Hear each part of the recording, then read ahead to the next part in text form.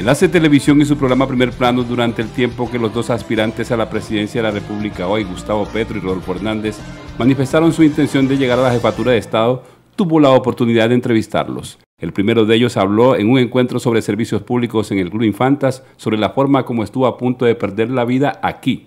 Barranca Bermeja tiene una cercanía conmigo fundamental. Yo viví aquí cuando tenía 27 años y era dirigente del M19 en la clandestinidad, en un momento que eh, había una gran oleada de movilización popular en todo el nororiente colombiano. Barranca Bermeja había hecho paros de su población que cada vez eran más insurreccionales.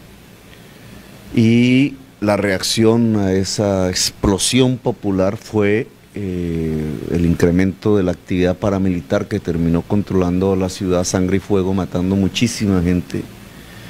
yo viví todo eso, al punto que a mí mismo, me capturaron, pues me iban a matar, estuve, me pusieron la cabeza debajo, debajo de la llanta de un camión aquí en Barranca Bermeja.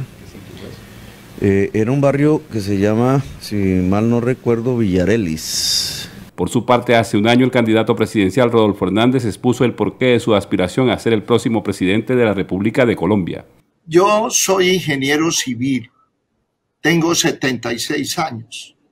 Me gradué de ingeniero civil en la Universidad Nacional de Colombia en Bogotá. He trabajado 51 años al sol y al agua. He generado una empresa de cierto prestigio en el departamento y agua en Colombia he generado un patrimonio que me permite tener, como yo digo, los almuerzos pagos los próximos 100 años. Hombre, Pedro, ¿por qué no voy a dedicar los últimos años productivos de mi vida a devolver algo de lo que los colombianos me dieron? Me dieron una educación gratuita, de altísima calidad, con los mejores profesores, algunos del mundo, y los mejores de Colombia.